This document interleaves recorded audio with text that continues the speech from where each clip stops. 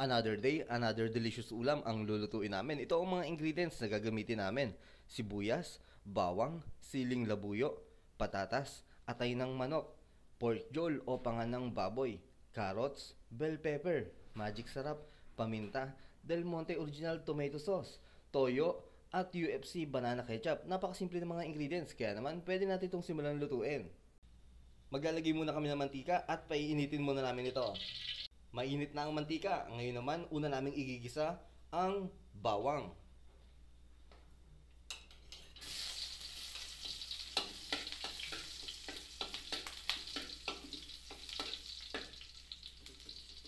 And then ilalagay na namin ang sibuyas.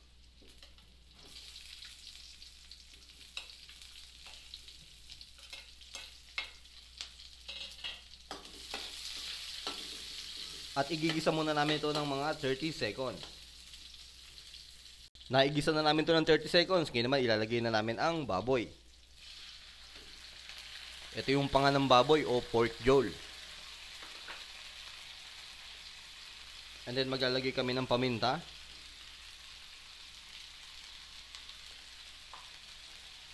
Lalagyan na din namin ito ng toyo.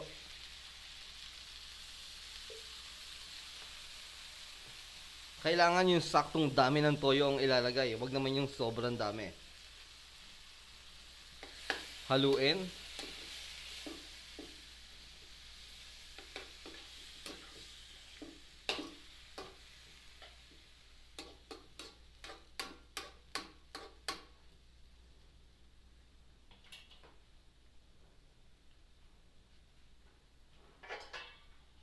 At tatakpan muna namin ito at pakukuluan ng mga 20 minutes. Napakuluan na namin ito ng 20 minutes. Ngayon naman hahaluin muna namin ito.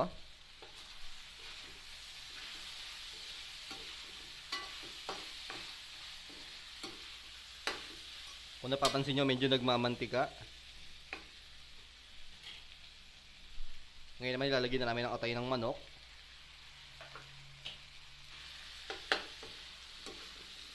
Yan. Ito yung pinaka magiging ano nito, liver spread. Lulutuin muna natin tong ganyan. And then saka natin ito dudurugin. Hayaan natin maglutong ganyan.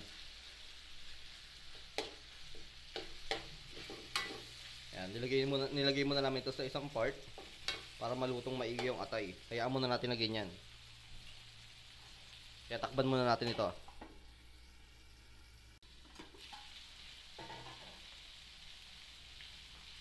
Ayan, kung mapapansin nyo, pwede na natin itong ano yun, yung ganito, ganito yun. Parang hiwa-hiwain.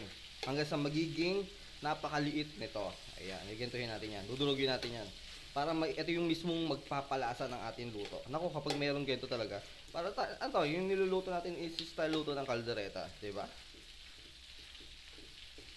Kumbaga yung ating ginagamit na liver ay talagang ano, uh, natural, kundi yung talagang atay ng manok. Ayan.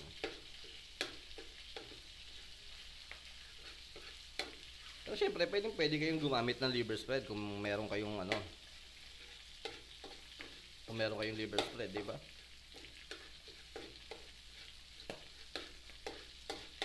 Ayan. Ito yung maigaw. Napakaganda na. And then, pwede natin yung i-mix.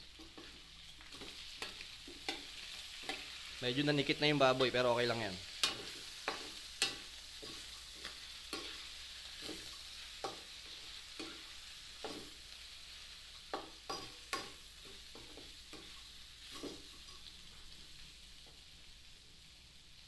Then lalagyan na namin ng sili. Then maglalagay na kami ng tomato sauce. So hindi namin ito lalahatin yung ganitong kalaki. Kalahati nito.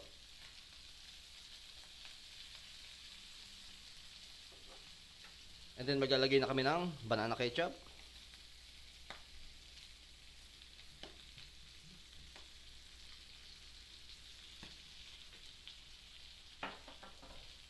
Then para mas maganda, malutong maigi. Itong ano, dapat kasi dapat nang ginawa namin dito sa patatas, piniprito muna kasi namin yan kapag mayroong patatas. Pero dahil ngayon, hindi muna namin pinirito, kaya ilalagay na namin ngayon pala para talagang lutong-luto.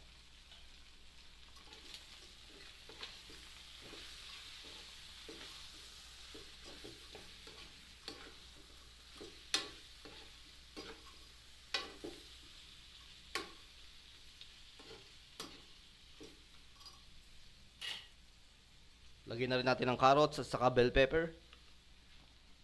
Nga pala, pwede nyo ilagay din sa gisa yung bell pepper para mas lalong malasa. Mas mabango.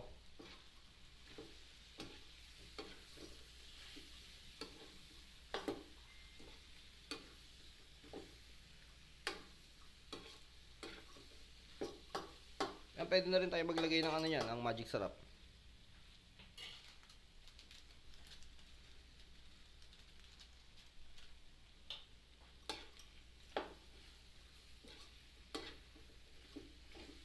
Pwede rin kayo maglagay ng tubig, pwede kayo maglagay ng gata. Yan, pwede pwede.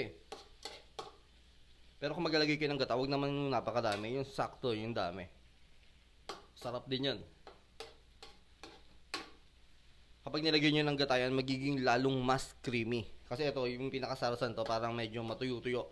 Masarap din yun sa kanin lamig. Pag nilagyan nyo naman ng ano yan, ng gata, kung mapapansin nyo, yung ano yan, talagang medyo may sabaw na malapot. Ayan. Hayaan mo natin na ganito din titikman natin kapag medyo sumobra ang alat maglalagay tayo ng asukal. Yan, takpan muna natin ito.